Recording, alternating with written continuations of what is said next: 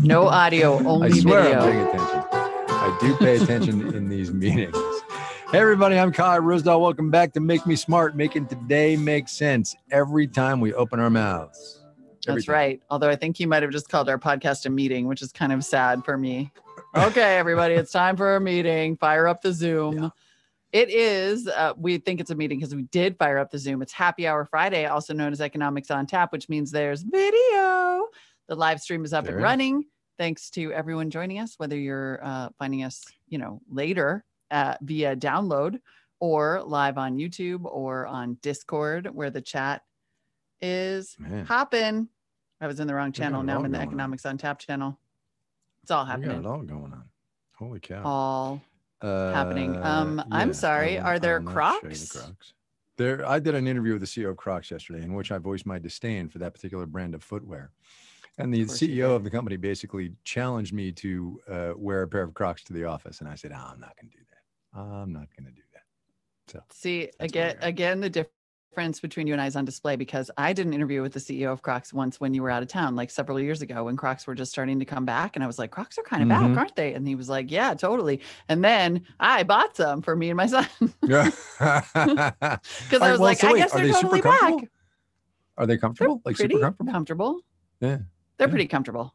I I will. I won't say that I wear them around as much as I wear my like slip on mule slipper type things. Yeah. Yeah. But uh they Yeah. are comfortable though. I don't like the like me personally, I'm not a big fan of the little nubby bottom. That's always been my one complaint about Crocs. Yeah. All right. No I kidding. have baby I wish I'd known yesterday. I'd have brought it, I'd, I'd have brought it up with the CEO. Uh, all right. But we're not here to talk about feet or shoes. That's an entirely different podcast. It got Uh, we're- weird. We're, here, we're here to do a little news. Uh, man, I'm going to have to open the windows here in a minute because I am sweating Open already. 'em. Um, it's it. it's uh, happy hour tap. So, uh, what are you drinking? And I will fess up. I'm teetotaling today. I'm having a good old fashioned Canada Dry because I got some stuff Which- to do later on, and I need to be alert. Beh- behind the scenes, you should know I immediately asked him if he had a tummy ache and he said no. Um Yeah, I'm, I'm because somebody's fine. mom is in here. I'm having a little tequila while Kai opens the window. And by little tequila, I mean I was just saying that uh, I brought up the entire bottle to the garage just so I could sort of pour it before the show. Kirkland, Costco size get you- tequila. we should just get you a straw. It's my jam. It's my jam for today. Like a like a, like a two Uh, foot straw. I know it's you know it's it's getting warm in the various home studios. Oh, thank you. Yeah. Leslie Underwood totally Yeah. agrees with me about the nubby bottom. It's just not the. Oh, well, there you mm. go. All right. Let's see. No Kimberly Adams, right here in the YouTube chat, having pomegranate juice and Midori because she still has it because Midori Nice. is hard to get rid of. It's the true. beautiful part about Kimberly is she's like, what do I have in my closet and or my cabinet and what can I make out of it? And how do I turn it into like a great cocktail? Exactly. I'm like, I mm, don't know. I Yeah. like to add some Yeah. ice in my little freezer. So there's that. Oh my Mhm. goodness. Um, okay. So uh, All we'll do a little news. We'll do a little um, half empty, half full, or half full, half empty, however you want to sequence those. Um, and then we'll move along. Yes. Uh, I, Let's I do the begin news. my news choices today. I begin them with tales of failure. Uh, one on behalf of the media of the United States, and I'm going Mhm. to call out NBC News here, but lots and lots of others have been doing it. And here's the big blaring headline from NBC News earlier today. Breakthrough COVID cases. At least 125,000 fully vaccinated Americans have tested positive. That's the headline. Big, fat, scary headline. And then in much smaller type that uh, nobody will see as they scroll through on their phones. The 125,000 breakthrough cases in 38 states represent less than 0.08% of the 165 million plus people fully vaccinated since January. And that's just a fail. I get that Yeah. we're worried about Delta and I get that it's scary and I get that it's, you know, more contagious and there are breakthroughs and all of these things. But media do better. Please Yep. and I will I will lump us in there. We gotta. It's just too important, Yeah. and there's too much mis and disinformation for us to get stupid stuff like this wrong. It's That's absurd. It is absolutely absurd. It represents, in fact, Yeah. 0.03% of the entire US population.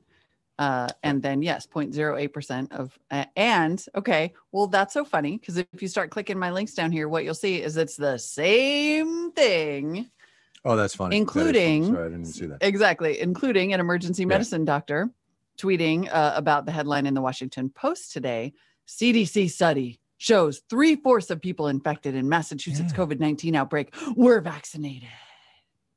Yeah. And this doctor It's says, crazy. please stop with these headlines because, more importantly, only four fully vaccinated people were hospitalized. None of them Yep. dies. This shows, he writes, that vaccines protect against serious illness, but don't prevent transmission. So wear a mask. The only thing that our profession, and I'm just going to have to say our profession and own Yeah. the fact that we're a part Yeah. of it, even though it's a tough time to be doing that because we keep falling into the exact same traps. We're only Yeah. covering, I mean, literally, I actually said to my brother today, I was like, I'm pretty sure that every single breakthrough case that exists has now been spoken to and reported on the media. I mean, granted, this right. is Every likely That's right. so each right person. like so it seems like they're Yeah. super common but actually we've just heard about all of them so Right. we're only reporting on breakthrough cases and look that is probably an undercount and even if it is an undercount it's still remarkable protection by the vaccines Yep. the the what these headlines are doing is giving more fodder to people who are saying vaccines don't work or why should i take it because it turns out i'll just get it and pass it on anyway even though that is Yep. still far, far, far, far less likely. I think Bob Wachter was tweeting that it's like you're maybe only you're an eighth as likely to get it at all, let alone pass it on. Mm-hmm. And it's just leading to these like these bizarrely polarized narratives. If you only cover things that 125,000 people are doing, it, Yep. it's like we only cover that and then we only cover the people who refuse to uh, take the vaccine. And then we make a big huge deal out of you know things like florida governor ron desantis effectively getting a ton more attention for vowing to reject mask mandates for school aged students on friday. This is also the guy who like sued social media platforms for censorship and what is and what is a Mhm. full on quixotic windmill situation like don't cover that Well, Don't it's- cover it. it's, It's I want to be. It's it's the I want to be president situation is what that was.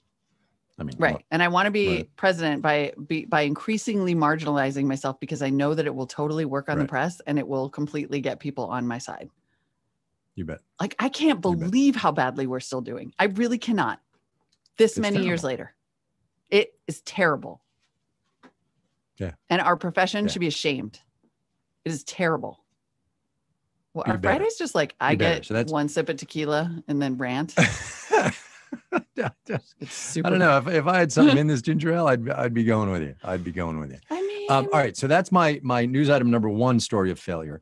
My news item number Yep. two story of failure is a tweet from Sarah Ferris. She covers uh, Congress for Politico, and she tweeted 20 minutes ago. She said, "House has adjourned, and the lights have literally dimmed as August recess officially begins." Now, that's important because one of the things that Congress did not do on the way out of town, and let me tell you now that the next scheduled vote in the House of Representatives is the middle of September. September. Okay. One of the things they did not do is extend the eviction moratorium, which expires oh. tomorrow. And there are 15 million people in this economy who are behind on their rents.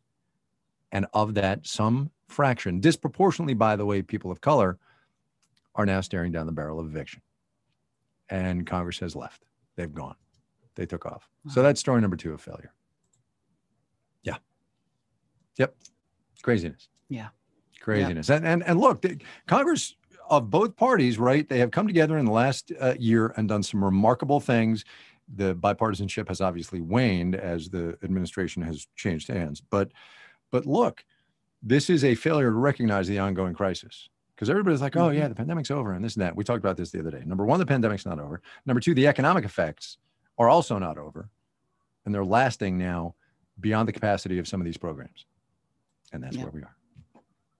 Yeah. So little failure in the news today. A lot of failure in the news today. Yeah. I mean, when one of these institutions does not hold the other to account, you can see why, and vice versa, hmm. you can see why nothing gets done. Yeah. Doesn't have to, Yeah. because you can just play to the press. Right. This is a whole. This Right. is a whole other podcast than you guys were expecting. Whole I'm other sure. podcast. All right. Okay. Yikes. Okay. you know what? All It's Friday. Let's Yeah. We've got our drinks. Let's just let's play a game. let's play. I don't even know who's driving today. Uh, this is the game, half full, half empty. The game where we give you our predictions on various topics. Uh, thanks to our host, Drew Jostad. What do we got? Take it away. All right. Get us The, started. the irony is thick with the first one here. Are we half full or half empty on the alcohol shortage? Is it is Uh, that it is, that actually happening? a supply chain thing. It is it is a real thing. Yeah, we did this story the other day on the show. It's a real thing. It's a real thing. There are beer shortages and alcohol shortages. Obviously, I'm half empty. I need it needs to be full. Present day's uh, beverages notwithstanding, we need to fix this. Dang. Times are getting hard again. Yeah, it's for real. Uh, so that, that big bottle of Gilliam Hollywood, that's that's that's that's that's that's worth its weight in you know gold. Oh my goodness. Well, it's a good thing uh, that I'm a bit of a hoarder. I did not know that. I will say I'm actually half full in the sense that there is no chance, and this is not necessarily a good thing because Americans are drinking way too much, but I feel like there's no chance that America is going to let an actual shortage occur. There's going to be I don't know. One never knows. One bootlegging, knows. hooch. I'm going to make some hooch. I'm going to make some hooch in the backyard. Little, little bat, little bathtub gin. little bathtub gin. I'm excited. I'm gin. excited for the return of uh, moonshine. I'm half full. Let's do it. Let's Yeah, moonshine right, it up. Your your your, front, your frontiers woman is coming out. All right, Drew. Next. Are you half full or half empty on any antitrust regulation coming from the FTC? Oh, very interesting. Yeah, I'm gonna let you go 1st I'm super. I'm uh, I'm half empty. really? Hmm You don't think it's gonna Yep. happen? I do not. I think that there. Uh, I think that agency is profoundly understaffed. I think there has been a lot of uh, heat about uh, everything that they're going to be able to do, but not a lot of light in terms of. I mean, they already got had a huge setback in the form of the federal judge dismissing the case against Facebook, and then the FTC said, "Whoa, whoa, okay, we're going to need more time to refile that case because we're so understaffed." Think they're going to run headlong into judges into delaying tactics like Facebook and Google saying, "Oh, you need to," or Amazon saying, "You're gonna Lina Khan's gonna have to recuse herself from these cases." And I think the bog is going to be too thick for them to make any progress anytime Wow. soon. Wow, but but Lina Khan and all that stuff she wrote and all the high hopes and all the everybody was look out Silicon Valley and Facebook. You're in the not you're not you're not having that. I'm just not having it. And you know what? This is a, another example of a thing that we keep on talking about because you know whose job it is to do this? Congress. Congress. Well, yeah. Like the fact that we keep Yes. leaving this to like unelected agencies that are totally understaffed and don't have any teeth. One of the things the FTC said in a, its hearing before Congress just this week was, "Hey, you know what we really need is for somebody to restore uh, the ability for us to collect monetary recompense." Which Yeah. was just stripped away from the FTC. They said you need, you know, there, there's some other piece of authority that they need to go back and look at past deals. Right now, the, FT, the FTC doesn't even have the authority to do the things that it's saying it wants to do. It's almost Wow. like it's a weird celebrity appointment. And then meanwhile, by the way, the FCC, which is an agency that has a lot of teeth, doesn't even have a permanent chair yet. I'm not buying it. In fact, if anything, I feel like we're getting a little bit snookered in a PR way here. I don't know. I'm fired up today. I'm heated. Uh, I was just gonna say. I was just gonna say. Whoa, Drew. Next next one because she mom is just on a tear. Whew. Okay, I don't know what's happening to me. go. All right, I got more regulation. good. More regulation. Oh man. The okay. FAA regulating spaceflight. Oh, see, I think that's bunkus. Truly, I do. I, I don't understand where the FAA gets off doing the whole, oh, you're not officially an astronaut and we're not going to give you astronaut wings. Go to hell. Honestly. right? I mean, What? that- seriously. Who did they say couldn't? the line. What? Did they better not have said that that old aviator lady can't have astronaut wings? I'm not Uh, yeah, uh, she was in Bezos' plane. Yeah, they did Yeah. say that. Yeah. Um, right. So Unelected bureaucrats. I don't understand where the here. FAA gets une- unelected bureaucrats. That's right. I think if you go above the Kármán line, you, you can call yourself an astronaut. I don't. I don't think those designator wing things and all that jazz. I don't think it applies to civilians. All right. So here comes my my background. I don't think it applies to civilians. I think if you're a designated aviator by a, a branch of the government that's qualified to designate aviators, uh, which I understand includes the FAA, then then you get um, wings. But if you're not, you don't. Uh, yeah. Boo. Opposed. I'm with Kai. I'm half empty. I would also like to point out that the Discord has uh they literally have little graphics for full and empty. I mean, Wow. our Discord is just next level. It's next level. It's wonderful. So when we when they when we say something, when Drew offers the topic, then the little images come up empty, empty, empty. So good. Wait. Hang on a minute. Don't do do not go anywhere. I'm not ready for the next one yet. Hang on. Because you're open up Discord. Hang on. You got this. No, I'm looking up Bunkus. Somebody oh Bunkum. Ryan in Minneapolis. I got it wrong.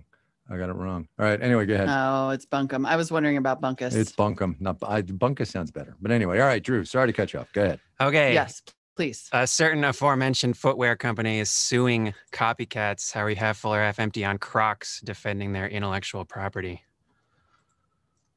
Uh, I, I think all companies should protect their intellectual property. I, I think they should definitely do that.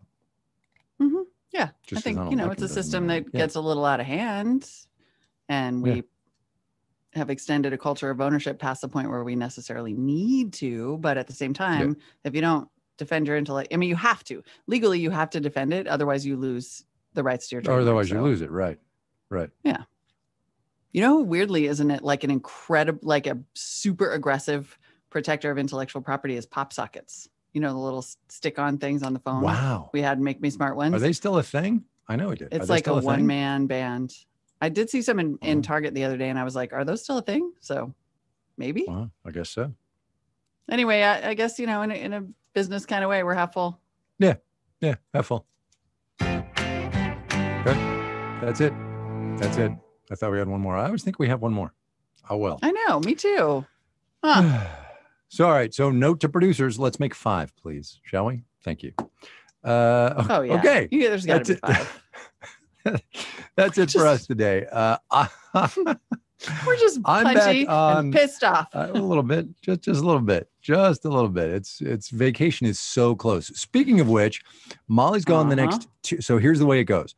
Molly's gone for the next two weeks. Now, are you gone, gone, or are you working on your tippy top secret project, Uh, a little which bit is, I guess, not so tippy top secret anymore? Okay, all right, okay. A little bit of Uh, so Molly's gone. I'm gone. Molly's out for two. weeks. I'm actually on vacation. Uh, Yeah. Okay. All right. Molly's out for the next two weeks. I am in Monday, Tuesday, Wednesday with Kimberly. Then I'm out for the duration of Molly's absence, and Kimberly's on with a rotating cast of Uhler and Megan McCarty Carino. Just so all y'all know what's going on. So it is going to be fun. just one, just wanted to say that. Uh, all right, but we still do need your comments, your questions, uh, your your uh, uh, very carefully crafted critiques, answers, of course, to the Make Me Smart questions. Send us an email or a voice memo, make me smart at marketplace.org, or you can just give us a phone call 508 827 6278 508 UB Smart. So there you go. So you go. good. Just a reminder that we didn't even do that on purpose. The UB Smart thing was a happy accident. That's how blessed our show is. Make Me Smart is produced by Marissa Cabrera. Today's episode was engineered by Drew Jostad, engineered by and starring Drew Jostad. Stephen Beyond produces our favorite game, half full, half empty. No pressure though, but we want five. And the YouTube live stream.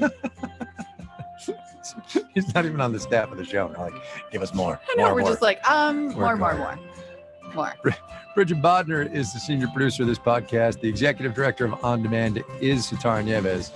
And this is where I click over the Slack to make sure I haven't missed it. To see if she's in there. I know. Aw, friends, you're so nice. Everyone's everyone's so sad about vacation, which I appreciate. However, you are in great hands.